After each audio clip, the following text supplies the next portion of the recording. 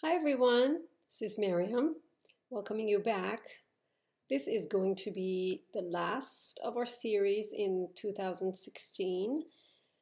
And with that, I'm going to talk about something that I think wraps up the year pretty well. We're going to talk about the fire element. Yes, the fire element. Fire has symbolized so many things for us over the years, in particular, our spiritual connection to the spirit, or connection to the spirit, rather.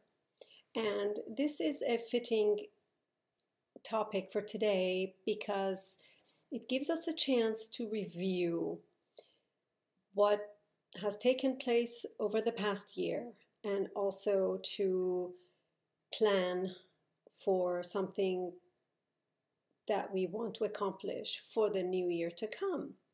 So, the fire element, the spirit of fire, is the same as that inner fire within, the Kundalini energy, if you will, the chi.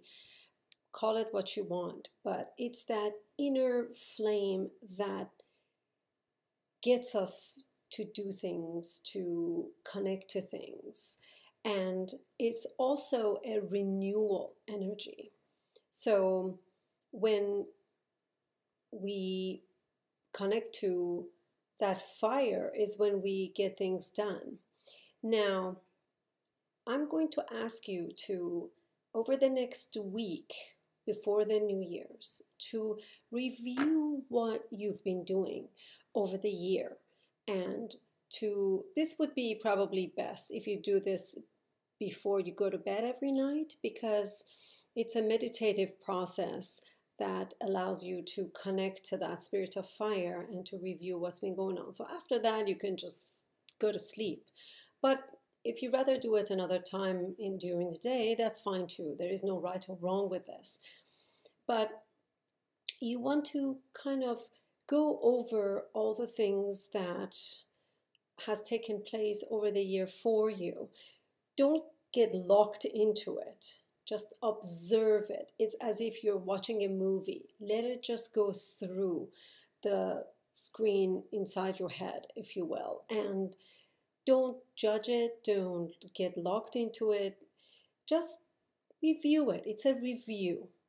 So let this happen and see if there was something that you would wish to change you know, a habit you might want to break. Anytime we make a little change in a routine, it kickstarts an energetic field, an energetic vibration. So things happen and we connect. And on the other hand, the fire spirit is also the spirit, the energy that also can renew, as we mentioned earlier, and you can do away with things that you no longer wish to continue with. You can even do a ceremonial um, ritual that would physically help you get rid of certain things. I actually kind of like um, doing this every once in a while because it's not only symbolic, it's also physical and it just physically changes the energy. You can get um, you know, write down on a piece of paper or representation that you might have of something that you wish to um, get rid of or no longer continue with. Um, then uh, get like a metal bucket or something, go outside, someplace safe that you can have a little fire ceremony and you actually burn that. So this way, as you're doing that, you're letting go of old habits, of old routines, of anything that no longer serves you, and then you can begin again. So it helps to do that as well.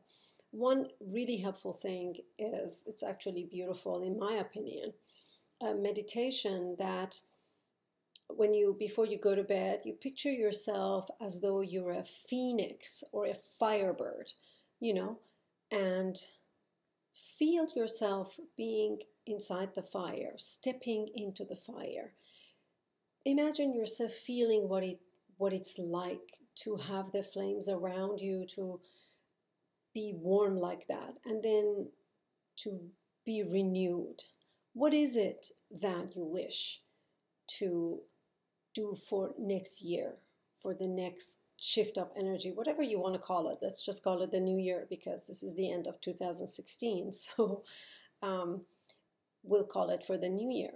But and I'm not talking about, oh, I want to lose weight or I want to like try this diet or, you know, I'm going to run 15 miles every day. No, I'm not talking about those kinds of things. Those are your personal, you know, um, physical goals. If that helps you to set something up for yourself, you can. However, I have found when it's very specific and um, rather difficult to adhere to, it makes it more challenging to actually sustain it. So, you know, you can say something like, I intend to be more fit next year. So that way you can tweak it the way that serves you better.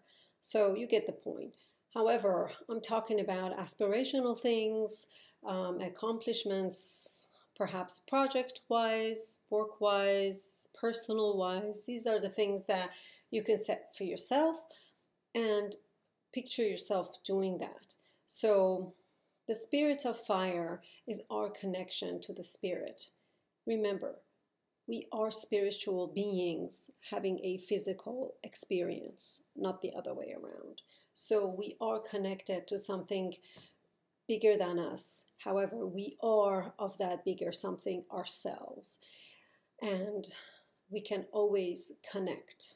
So try this meditation out. Try you know, going within before you go to bed um, for the next week at least. I'm not going to ask you to do it for the rest of the year because you probably won't, but um, just try it for the next week until the New Year's. And every night, just review things, add your own twist to it, you know, make it as imaginative as you can. It's yours. You can go as wild as you like.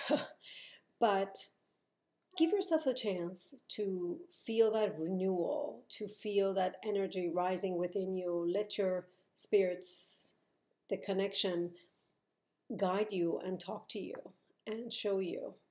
It will do that. With that being said, happy holidays. I wish you a very safe holiday period and a wonderful new beginning. I will see you next year. Namaste.